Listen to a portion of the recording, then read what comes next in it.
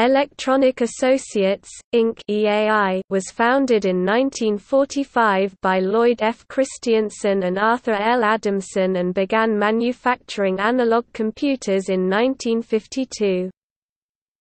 Their systems were used by NASA to develop space probes and simulate physical systems. As digital technology matured, they began production of hybrid digital, analog systems, such as the EAI 680 with 156 amplifiers, diode function generators and servo-controlled potentiometers to control input parameters. Under the direction of Robert E. Finnigan, the company developed the first quadrupole gas chromatography mass spectrometry devices and sold over 500 devices between 1965 and 1966, which accounted for most of the firm's profit.